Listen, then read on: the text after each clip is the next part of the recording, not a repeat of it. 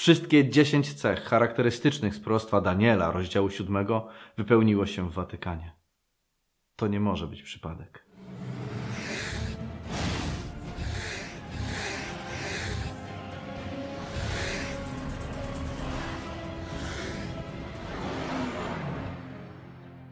W rozdziale siódmym Księgi Proroka Daniela czytamy o małym rogu, który wyglądał na wielki. Biblia podaje nam aż dziesięć cech charakterystycznych tego, kim jest ten róg. Bóg bardzo chce, aby ta identyfikacja była precyzyjna. Rozumiem, że może jesteś związany z Kościołem katolickim i wiedz, że nie chce w żaden sposób atakować Ciebie. Jesteś dzieckiem Bożym, należysz do Jezusa, więc chciałbym jedynie wskazać Ci, co On nam przekazał przez proroka Daniela. Rozumiem, że to jest trudne przesłanie, ale wierzę też, że jeśli z czystym i szczerym sercem sam to przestudiujesz i sprawdzisz, to będzie to dla Ciebie błogosławieństwem. Bóg chce dać Ci szczęście, radość, spełnienie. Niestety, jego przeciwnik posługuje się kłamstwem i fałszywymi doktrynami, w które, gdy człowiek uwierzy, to charakter Boga jest bardzo zniekształcony. Dlatego dzisiaj przedstawię Ci dziesięć cech charakterystycznych bluźnierczego rogu. Znajdziemy te cechy w wierszu ósmym oraz e, od 20 do 26. E, przeczytajmy je. Uważnie przypatrywałem się rogom, a oto mały róg wyrósł między nimi i trzy spośród tych pierwszych rogów zostały wyrwane przed nim. A oto w tym rogu były oczy podobne do oczu ludzkich i usta mówiące wielkie rzeczy.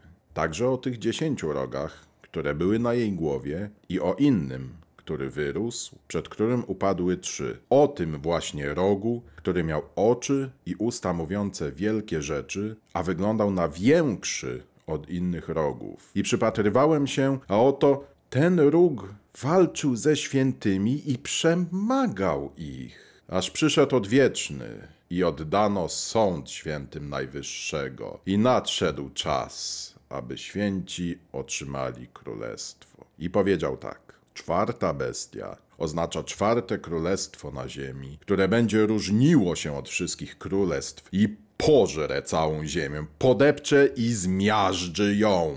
A dziesięć rogów oznacza, że z tego królestwa powstanie dziesięciu królów, a po nich powstanie inny, który będzie różnił się od pierwszych i poniży trzech królów będzie mówił słowa przeciw Najwyższemu i wytracał świętych Najwyższego? Będzie zamierzał zmienić czasy i prawa? Gdyż będą wydane w jego ręce aż do czasu, czasów i połowy czasu. Potem zasiądzie sąd i tam odbiorą mu władzę, aby została zniszczona i wytracona aż do końca.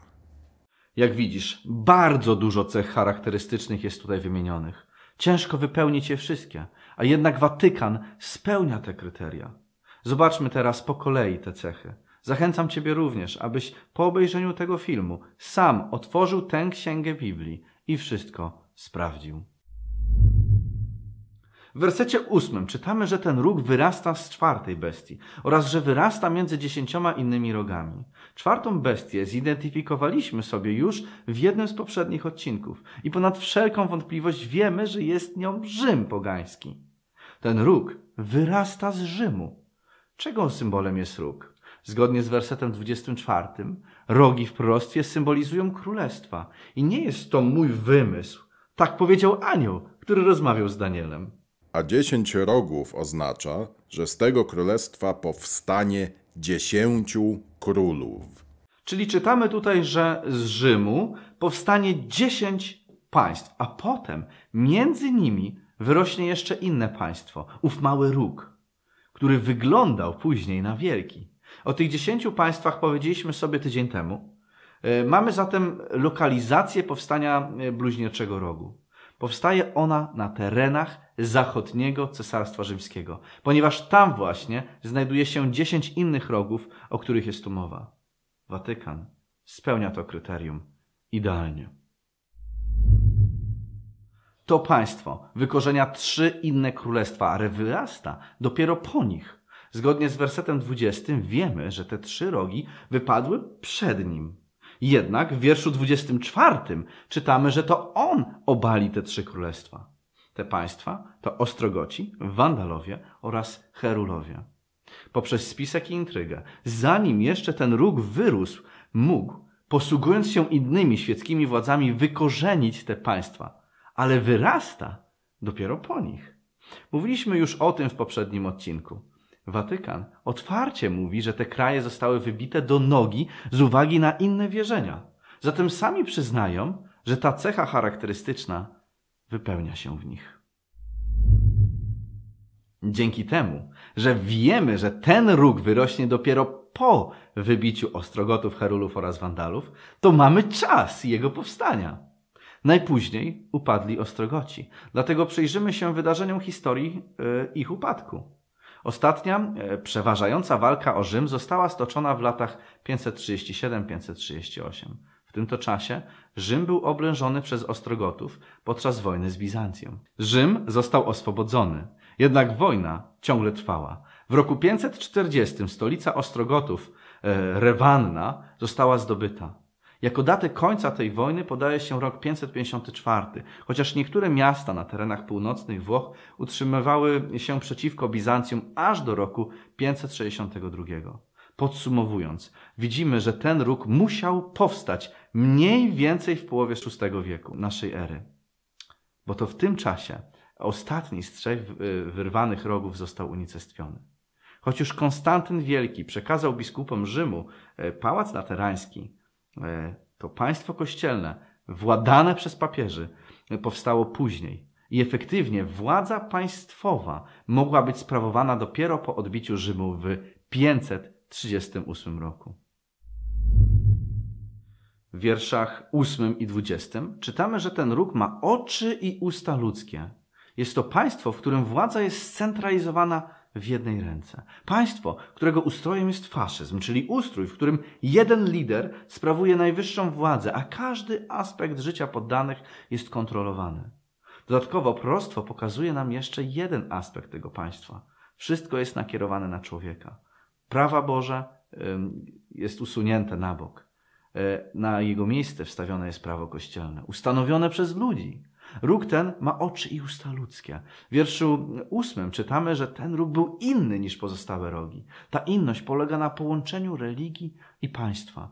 Papież jest królem, ale i najwyższym kapłanem tego królestwa. W oficjalnym czasopiśmie jezuitów La Civita Cattolica w roku 1939 można było przeczytać Faszyzm jest formą rządów, która koresponduje najściślej z koncepcjami Kościoła rzymskiego. Jest to królestwo religijne. Czytamy w wierszach 8, 20 i 25, że ten róg mówi zuchwałe słowa. Werset 25 podaje nam kolejny szczegół. Jest tam napisane, że te zuchwałe słowa są wymierzone przeciwko Najwyższemu. Ta potęga w swojej pysze wynosi się ponad Boga niebios. Uważa, że ma prawo zmienić słowa Chrystusa czy Jego przykazania. Jest to bluźniercza potęga, odrzucająca Biblię. Z przykrością trzeba powiedzieć, że Kościół katolicki niestety również i tę rzecz wypełnia idealnie. Zobaczmy parę cytatów papiestwa. Papież, który pełni władzę Boga i Pana naszego, Jezusa Chrystusa na ziemi. Papież reprezentuje samego Jezusa Chrystusa. Wygląda na to, że papież Jan Paweł II przewodniczy teraz Kościołowi powszechnemu ze swego miejsca na krzyżu Chrystusa ale wierzyć, że nasz Pan Bóg, papież, autor wymienionego edyktu oraz tego nie może wydać edyktu, jak wydał, powinien zostać uznany za herezję. Do tego dochodzi doktryna o nieomylności papieża, czy doktryna o odpuszczaniu grzechów. Takich mm, wypowiedzi jest cała masa i są one dobrze udokumentowane w historii. Ta potęga zdecydowanie może być nazwana zuchwałą względem Stwórcy. W wierszu ósmym czytamy, że ten róg jest mały, jednak w wierszu dwudziestym jest napisane, że wyglądał na większy niż inne. Papiestwo samo w sobie jest małym państwem, ale swoimi wpływami na losy świata zdecydowanie przewyższa wszystkie potęgi występujące w historii.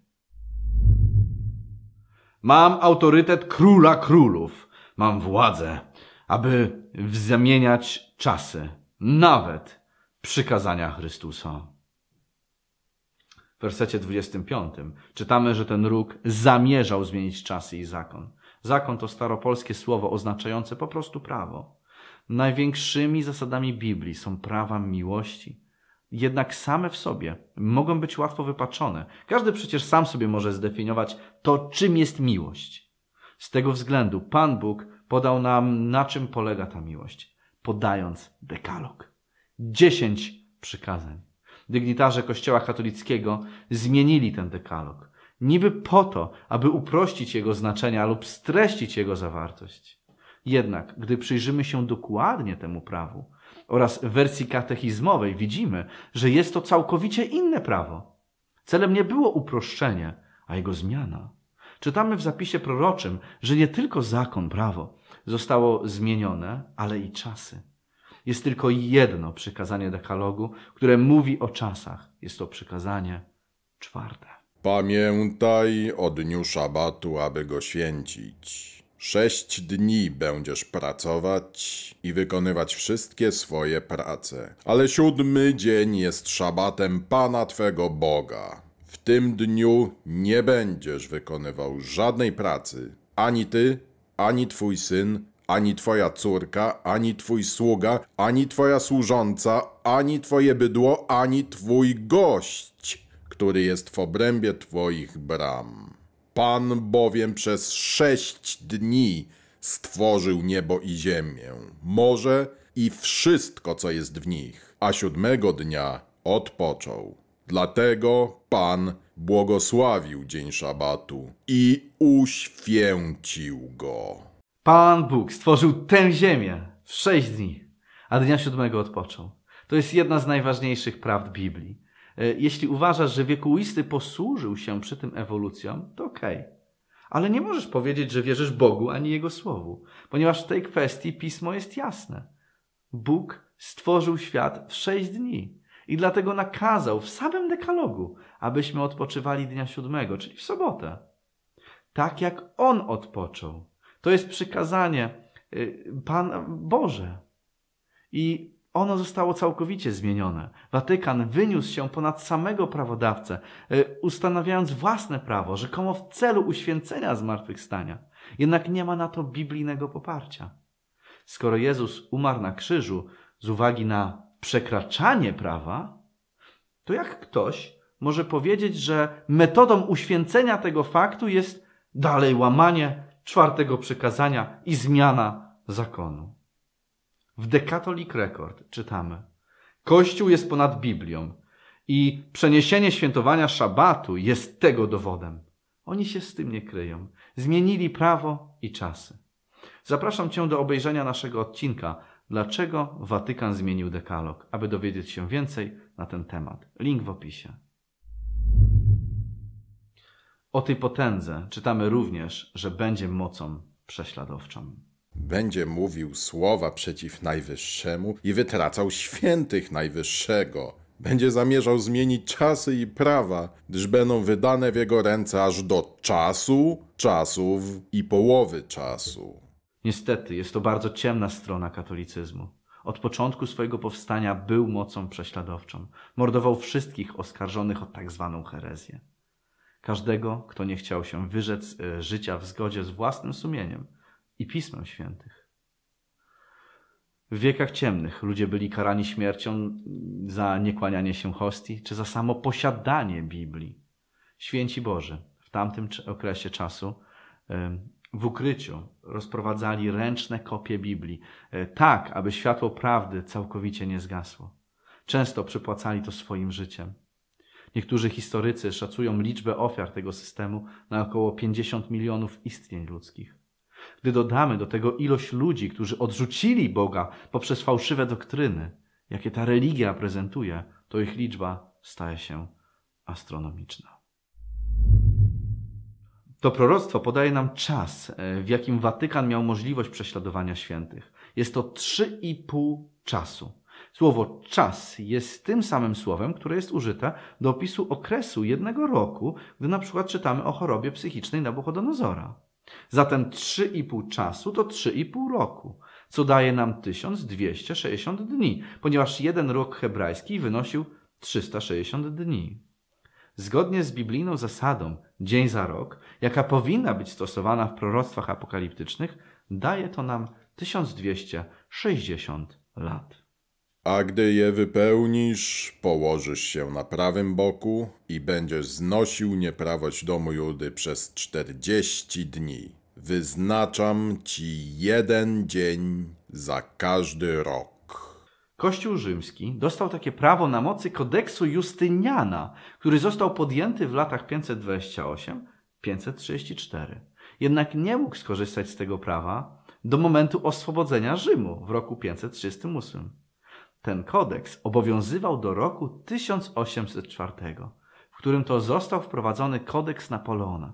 Jednak już w roku 1798 papiestwo nie mogło korzystać z prawa Justyniana, ponieważ to w tym roku generał Louis Alexandre Berthier uwięził papieża. Zatem święci Najwyższego zostali wydani w moc tej władzy od roku 538 do 1798. Dokładnie na 1260 lat tak jak to zostało przepowiedziane. Więcej na temat tych dat mówię w odcinku Biblijne proroctwo 1260 lat wypełnione w papieżu. Zainteresowanych zapraszam do obejrzenia. Ta potęga musi istnieć aż do czasów przyjścia Jezusa. Wtedy patrzyłem z powodu głosu wielkich słów, które wypowiedział Ru. Przypatrywałem się, aż bestia została zabita, a jej ciało zniszczone i wydane na spalenie w ogniu. Widziałem też w nocnym widzeniu. Oto w obłokach nieba przybył ktoś podobny do syna człowieka. Przyszedł aż do odwiecznego i przyprowadzono go przed niego. Czyli nie może to być e, jakieś mocarstwo, które było i przeminęło. Musi to być ciągle istniejące królestwo, które pozostanie do przyjścia Jezusa. W objawieniu rozdziale 17 mamy trochę więcej szczegółów dotyczących jego upadku.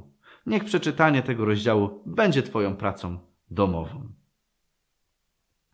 Przedstawiłem Ci wszystkie cechy charakterystyczne bluźnierczego rogu.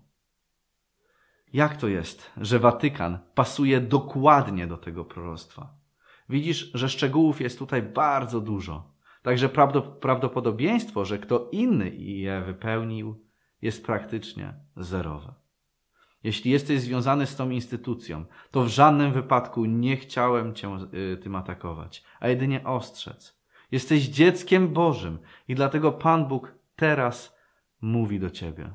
Wyjdźcie z niej, mój ludu, abyście nie byli uczestnikami jej grzechów i aby was nie dotknęły jej plagi. Przejrzyj sam te proroctwa. Porównaj z wydarzeniami historii. Jak myślisz, dlaczego ten kościół palił ludzi na stosie za samo posiadanie Pisma Świętego? Gdyby to pismo go w tak jasny sposób nie demaskowało? Nie bądź jak wszyscy ci, którzy ślepo, bez sprawdzania idą na zatracenie. Sprawdź, czy tak się rzeczy mają i nie bądź w niewiedzy. Bóg ci w tym wszystkim pomoże. To jeszcze nie koniec naszej serii.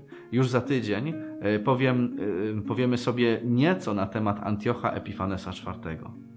To były cienie przyszłości. Subskrybuj, daj łapkę w górę, e, jeśli podobał Ci się ten materiał. I również śledź nas na Facebooku oraz na Telegramie. Cześć!